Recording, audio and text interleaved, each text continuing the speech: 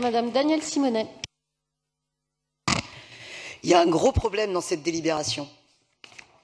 Le montant, il n'est pas assez élevé.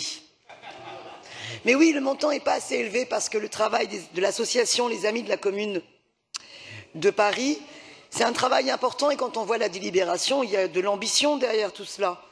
Pour préparer le 150e anniversaire de la Commune de Paris, il prévoit des euh, parcours euh, virtuels avec une application Android, la création d'un site internet et évidemment, comme chaque année, eh bien, les fêtes organisées sur la place de la Commune de Paris euh, de 1871 dans le 13e arrondissement. Et donc pour organiser tout cela, eh bien, je trouve que le montant, 4 000 euros pour la réalisation de la fête de la commune et la subvention d'investissement de 8 000 euros, ça ne va pas très loin. J'espère que peut-être qu'au budget supplémentaire, on pourra abonder cela. Parce que c'est très important pour euh, les Parisiennes et les Parisiens de euh, travailler notre mémoire collective. Il y a en ce moment, dans le contexte actuel, bien des choses à réfléchir. On est quelque part dans une situation inversée, parce qu'au moment de la Commune de Paris, eh c'était euh, euh, euh, plus ouvrière, républicaine et, rouge, jacobin, républicaine de l'Est parisien qui s'était mobilisée face finalement à une France majoritairement provinciale royaliste. Bon. Et finalement, quand vous regardez la situation aujourd'hui, la mobilisation des Gilets jaunes, l'insurrection citoyenne des Gilets jaunes, eh bien, c'est un peu un rapport inversé. C'est-à-dire que vous avez la diagonale du vide, c'est euh, la, France euh, populaire euh, périurbaine, et eh bien, notre assemblée ici fait parfois dans sa tonalité plus office de Versaillais. Il faut le reconnaître si on reprend le débat que nous avons eu précédemment sur, la question, sur les questions de sécurité ou ce genre de choses. Bon. Par contre, il y a une situation qui n'est pas inversée à l'intérieur de Paris. Parce que déjà à l'époque, eh bien, à l'époque, euh, vous aviez euh, les arrondissements de l'Ouest qui étaient les plus riches, 7e, 8e, 16e, 17e, et à l'Est, les plus populaires. À l'approche euh, de la commémoration du 150e anniversaire de la Commune de Paris, il me semble important de se rappeler ces deux mois, ces deux mois d'expérience démocratique jusqu'au bout, d'émancipation jusqu'au bout, et hélas de la terrible répression, de la terrible semaine sanglante d'Adolphe Thiers. Évidemment, on est dans un contexte totalement différent aujourd'hui, certes, mais regardons, à contexte certes tellement très différent, les réponses de l'ordre du sécuritaire autoritaire qui s'oppose au mouvement des Gilets jaunes aujourd'hui. Non, j'ai bien dit que c'était totalement différent, mais qu'il y a une dérive autoritaire aujourd'hui. Et qu'aujourd'hui, il y a un nombre de mutilés que nous n'avons jamais rencontrés dans l'histoire de la Ve République depuis euh, les terribles événements euh, type 17 octobre 61. Mais depuis cette période-là, jamais l'histoire de France a connu une telle répression du mouvement social. Alors, je souhaite aussi qu'on, dans le travail de mémoire sur la Commune de Paris, on se souvient également du programme politique qu'il y avait le droit de vote la citoyenneté accordée aux étrangers les coopératives ouvrières tout ce travail d'autogestion le premier mouvement féminin de masse la reconnaissance de l'union libre l'interdiction de la prostitution la liberté de la presse l'école gratuite et laïque la séparation de l'église et de l'état bien avant la loi de mille neuf cent cinq.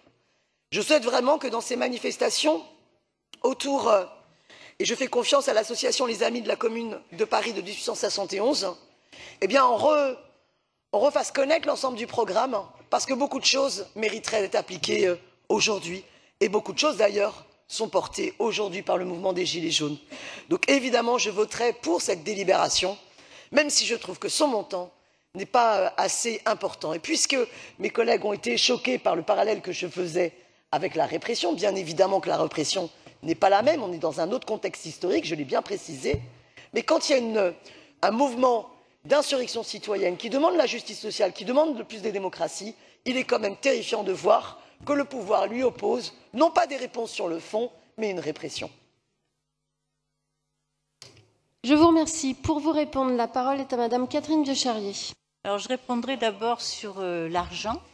Je ne donne jamais plus de ce que ce qu'on m'a demandé Quand euh, une association me demande 12 000 euros, je ne peux pas lui donner 14 000 parce que euh, c'est comme ça. Il y a une deuxième chose, et ça, ça vaut pour tous les bancs de cet hémicycle. J'ai horreur de l'instrumentalisation de l'histoire. Horreur de l'instrumentalisation de l'histoire. Je trouve que c'est à vomir. Je fais confiance aux amis de la commune, dont un des professeurs, le professeur Jean-Louis Robert, est d'une honnêteté historique remarquable. Et si on donne justement des, subventions à cette euh, association, c'est parce qu'elle fait de l'histoire. Elle ne fait pas de l'interprétation. Quand j'entends vos propos, Madame Simonet, franchement, on se demande. Effectivement, il y avait un programme de la Commune de Paris, un magnifique programme. Ça manque un tout petit peu aujourd'hui, voyez. Et puis on va peut-être, peut-être pas euh, comparer effectivement les répressions. Donc laisser la commune à ce qu'elle a été, un magnifique moment d'histoire. Monsieur Vesperini a rappelé des choses et je suis assez d'accord avec lui. Il faut regarder toute l'histoire de la commune.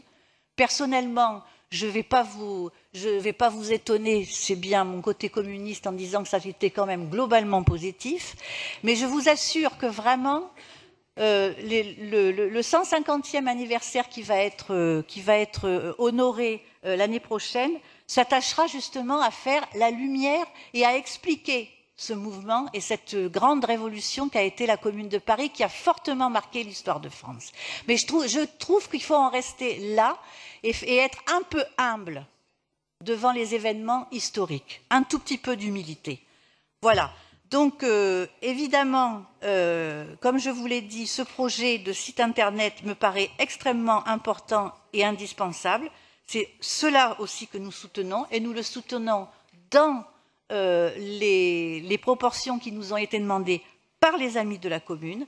Voilà, je, crois faire, depuis que je suis arrivée euh, sur cette délégation, j'essaye de faire un équilibre euh, tout à fait, qui, me paraît extrêmement important dans les hommages qui sont faits. Et je suis tout à fait sensible à ce que vous avez dit, Monsieur Vesperini. Bien évidemment, euh, euh, cette, page d'histoire doit être regardée de tous les points de vue et non pas d'un point de vue idéologique, parce que le temps de l'idéologie est passé et que nous sommes maintenant sur le temps de l'histoire.